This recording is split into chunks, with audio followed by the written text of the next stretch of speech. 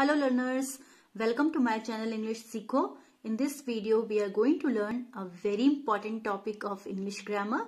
The topic is about the use of no sooner, as soon as, hardly and scarcely. No sooner का अर्थ होता है जैसे ही जितनी जल्दी। पहले तो मैं ये बता दूँ कि ये एक नेगेटिव एक्सप्रेशन है। आप यहाँ पर देख सकते हैं नो और सूनर जो है वो एक डिग्री है डिग्री ऑफ़ कंपैरिजन है। कंपैरेटिव डिग्री की तरह से इसको इस्तेमाल किया गया है। तो आ, मतलब ये है कि इसका जब हमको प्रयोग करना है तो हम नेगेटिव सेंटेंस के रूप में इसको प्रयोग में लाते हैं। इसके प्रयोग में दो नियमों का विशेष ध्यान रखना चाहिए। पहला नियम तो ये है कि नो सोनर से यदि सेंटेंस की शुरुआत करते हैं तो हमें आगे इसे इंटेरोगेटिव सेंटेंस की तरह बनाना होता है, यानी कि प्रश्नवाचक वाक्य की तरह हमें इसका स्ट्रक्चर रखना पड़ता है। मतलब कि अगर मान लीजिए कि ही सॉ है और अगर आपको इसको इंट्रोगेटिव बनाना है, प्रश्नवाचक बनाना है तो आप स वर्ब की सेकेंड फॉर्म है तो आप डिड को आगे ले आते हैं, फिर सब्जेक्ट को लाते हैं ही और फिर मेन वर्ब को लाते हैं। उसी तरह से अगर मान लीजिए कि सेंटेंस है शी हैड एंटर्ड तो आप हैड को आगे ले आते हैं सब्जेक्ट के और एंटर्ड अपनी जगह पे रह जाता है। तो इस तरीके से ये दोनों एक्सप्रेशंस यहाँ पर आपकी इंट्रोगेटिव में हो गई है। तो अगर हम नो सूनर का प्रयोग करेंगे तो हम इन सेंटेंसेस का इस्तेमाल करेंगे। यानी कि जो इंट्रोगेटिव में आपको दिया गया है, इन एक्सप्रेशंस का इस्तेमाल करेंगे, ना कि इनका। इनका इस्तेमाल नहीं होगा।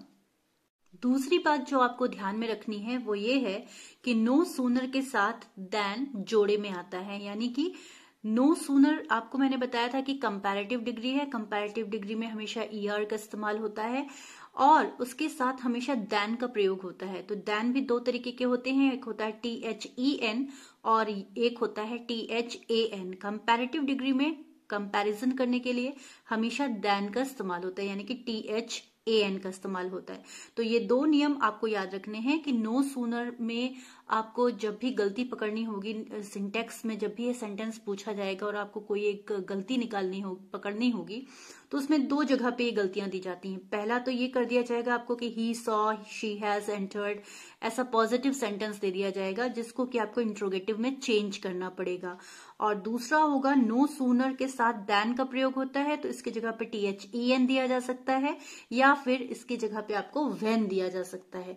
यानी कि या तो आपको टी एच ई एन दे सकते हैं या फिर आपको वेन भी दे सकते हैं, जो कि ये दोनों ही गलत होंगे। यहाँ पर देखिए, मैंने कुछ एग्जाम्पल्स लिख रखे हैं आपको इस बात को क्लियर करने के लिए। पहला एग्ज़ाम्पल मेरा है no sooner he saw the lion than he ran away आपको मैंने बताया था कि दो चीज़ें आपको चेक करनी है। पहला नो सूनर के साथ इंट्रोगेटिव फॉर्म प्रयोग में होना चाहिए इंट्रोगेटिव एक्सप्रेशन होनी चाहिए। और दूसरा नो सूनर के साथ दैन का प्रयोग होना चाहिए। तो एक एक चीज़ तो यहाँ पर सही है। दैन का इस्तेमाल किया गया है टी एच ए एन का। तो इसलिए यहाँ पर इसको बदलने की ज़रूरत नहीं है। जो भी चेंज होगा, वो यहाँ पर होगा। जैसा कि मैंने आपको बताया ही था तो नो सोनर डिड ही सी आप देख सकते हैं, मैंने यहाँ पर एग्ज़ाम्पल को सही करके लिख दिया है।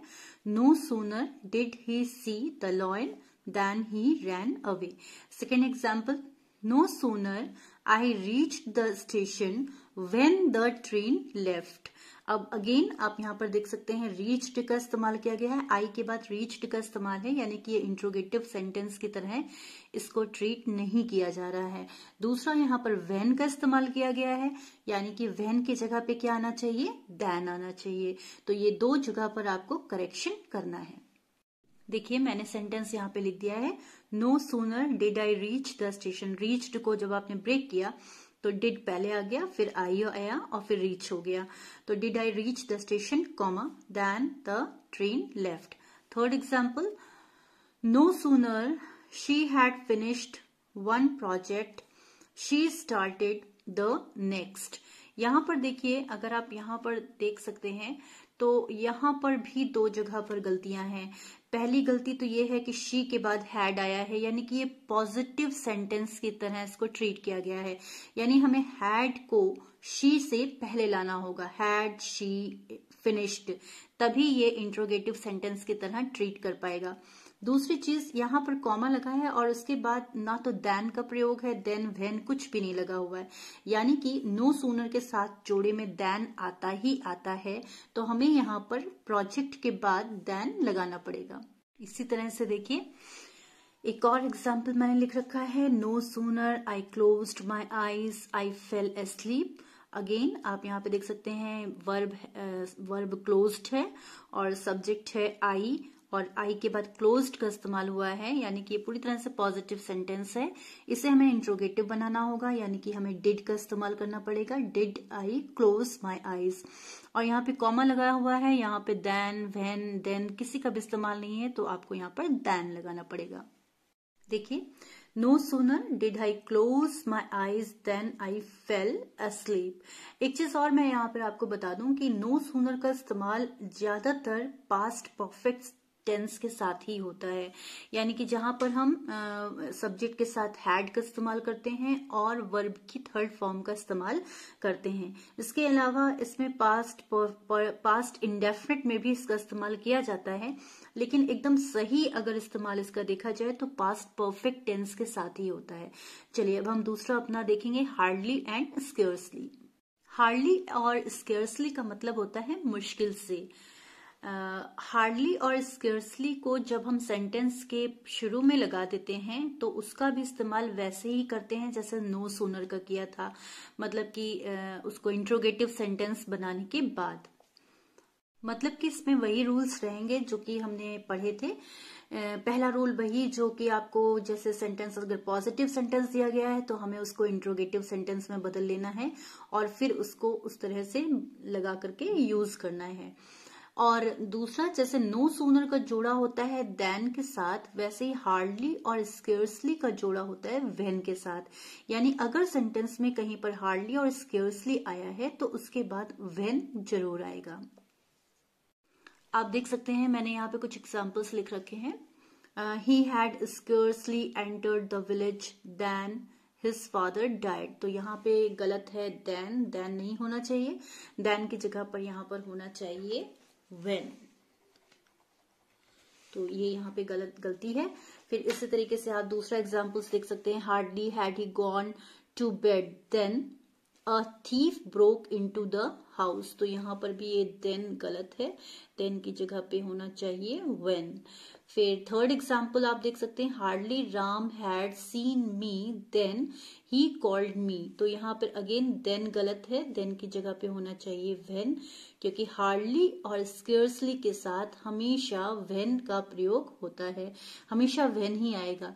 तो यहाँ पर तीसरे सेंटेंस में लेकिन एक और जगह पे गलती है, वो आप देख सकते हैं, आप इतना पढ़ चुके हैं, अभी इतने एग्जाम्पल्स देख चुके हैं तो आप समझ सकते हैं कि गलती यहाँ पर है, राम हैड सीन अगर राम के बाद हैड आ रहा है तो इसका मतलब ये पॉजिटिव सेंटेंस की तरह ट्रीट किया गया है। जबकि आपको मैंने बताया कि हार्डली या स्केर्सली अगर लगा दिया गया है तो हैड यहाँ पर पहले आ जाना चाहिए था। तो hardly had Ram seen me when he called me देखिए, यहाँ पर मैंने करेक्ट करके लिख दिया है। Hardly had Ram seen me when he called me अब अच्छा इसका मैं आपको मतलब भी समझा देती हूँ। Hardly had Ram seen me when he called me कि राम ने मुझे देखा ही था, मुश्किल से राम ने मुझे अभी देखा ही था जब उसने मुझे बुलाया। देखिए, इसका अर्थ भी मैं बता देती हूँ आपको। No sooner did he see the lion then he ran away जैसे ही उसने शेर को देखा देन ही रैन अवे वैसे ही वो भाग गया। No sooner did I reach the station then the train left जैसे ही मैं स्टेशन पर पहुँचा, जितनी जल्दी मैं स्टेशन पे पहुँचा, वैसे ही ट्रेन जा चुकी थी। तो इसमें आपको जो है, इस बात का ध्यान रखना है कि नो सोनर पहला तो नेगेटिव सेंटेंस है, दूसरा इसमें हम जो स्ट्रक्चर रखते हैं, वो इंट्रोगेटिव सेंटेंस की तरह रखते हैं, यानी कि पहले हेल्पिंग वर्ब आती है, फिर सब्जेक्ट आता है और फिर मेन वर्ब आती है। और तीसरी चीज़ आपको ध्यान रखनी है कि नो सूनर के साथ हमेशा दैन का प्रयोग होता है। उसी तरीके से आप ये भी याद रखिएगा कि हार्डली और स्केयर्सली इसके साथ हम हमेशा वेन का प्रयोग करेंगे और जब कभी भी हमें सेंटेंस का स्ट्रक्चर बनाना होगा तो हम दोबारा यहाँ पे वैसे ही बनाएँगे। पहले हम हेल्पिंग वर्ब लाएँगे, फिर हम सब्जेक्ट लाएँगे और फिर हम मेन वर्ब लाएँगे।